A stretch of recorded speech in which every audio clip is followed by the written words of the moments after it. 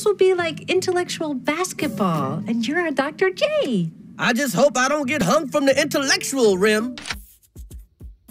So, you're the only black kid in class, and you're being picked on because you have different opinions, or maybe you're sitting there and you're not actually voicing your opinions out of fear of being labeled the angry black girl or the angry black boy or the angry black unicorn, whatever you choose to be. We are open and accepting here. Now f you, talking you black asshole!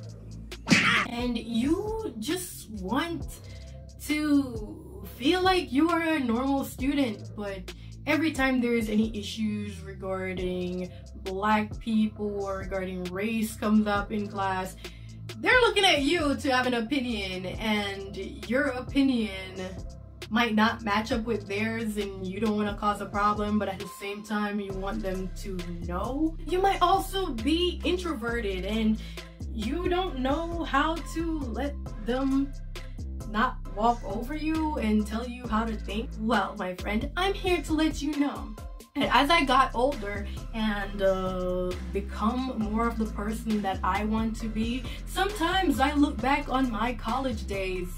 For those of you who might be from a different country, university days. That works.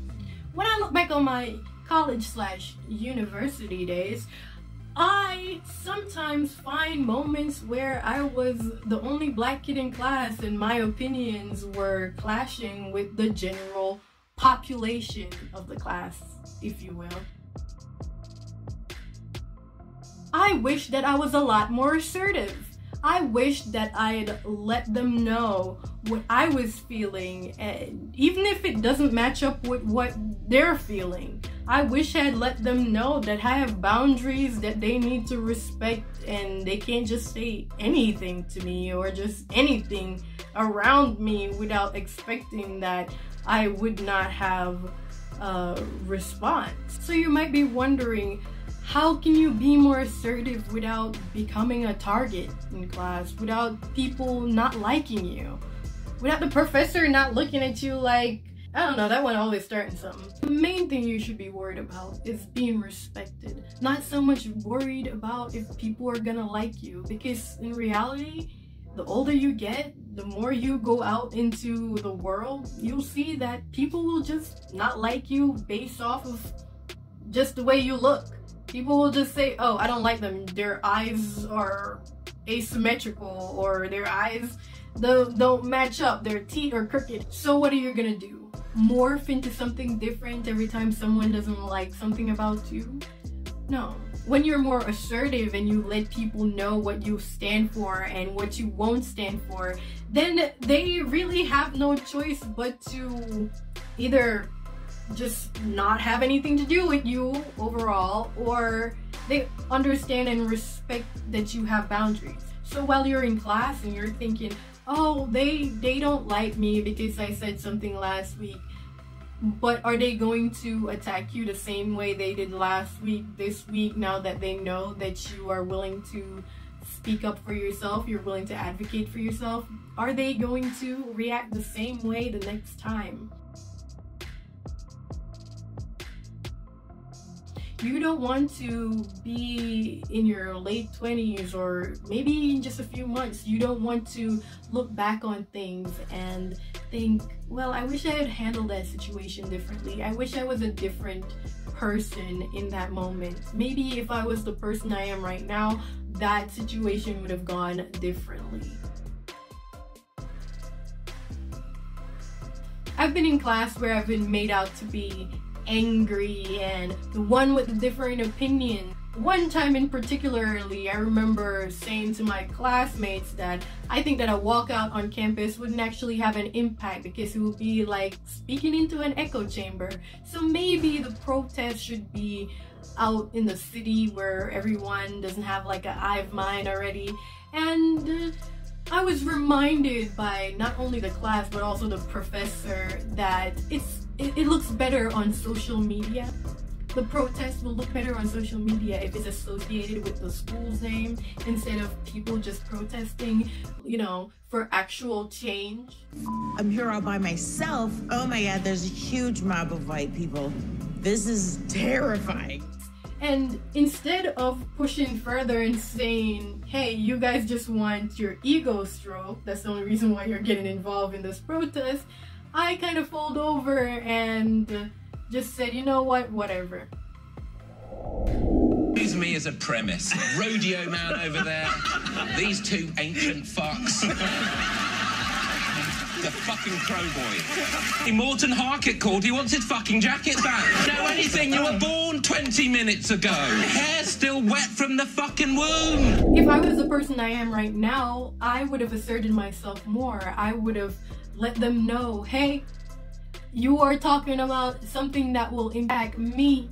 You are talking about doing a protest regarding black people. And I am the only black person in this class. And I'm making a suggestion that I think would actually cause an impact. And you're telling me, the black person in the class, that my idea of things to help black people does not matter because yours are better ideas. Do you see that? Don't cross that border with me. I realize the dynamic that's going on here. You are the majority and I'm the minority in this situation, but you are talking about a topic that involves me. You're talking about what would be better for black people. And when I give my black input, you're basically shutting me down because you think you know better. So how exactly are you better than the people that you are protesting against? To let them know that they're just stroking their ego and having a wank. And I didn't. And I look back on that day and I wish that I did. I wish I had spoken up more. I wish I had been more assertive. I wish I had been more self-confident. And I realized that the more you know about your opinion, the more information you have to back up your opinion, the more you are willing to say, hey, you're crossing a border that I don't appreciate. You are saying or doing something that I don't appreciate. And I do not appreciate that you are trying to somewhat talk over me every time I try to offer my input on a topic.